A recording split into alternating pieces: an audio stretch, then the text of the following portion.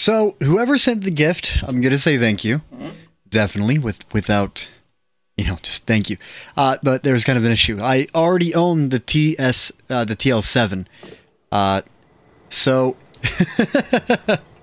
currently, I'm looking at uh, my desktop point of view right here. It says 25 million.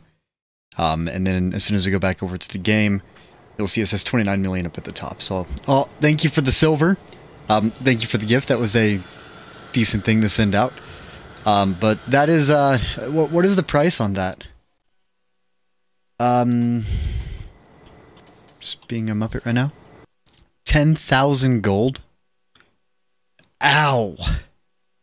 You know, if possible, um, I might actually just submit a ticket and ask if they would be willing to um, refund you and then remove the silver from my account.